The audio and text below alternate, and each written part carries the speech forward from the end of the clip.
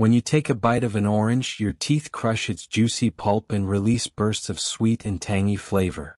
Your saliva immediately begins breaking down the natural sugars, starting the digestive process right in your mouth.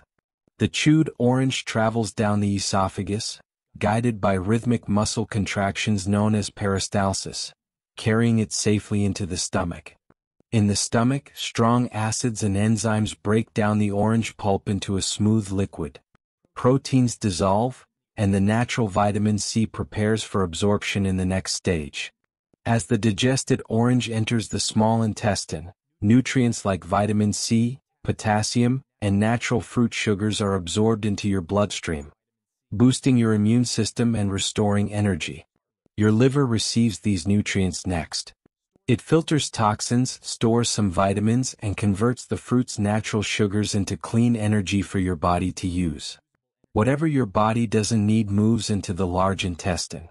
Here, water is absorbed, and the leftover fiber helps clean your digestive tract and maintain healthy bowel movement. And that's what happens when you eat oranges. Each slice gives your body vitamins, fiber, and hydration that strengthen your health from within. If you enjoyed this 3D health explainer, like, share, and subscribe to Senior Life Doctor, making health simple one video at a time.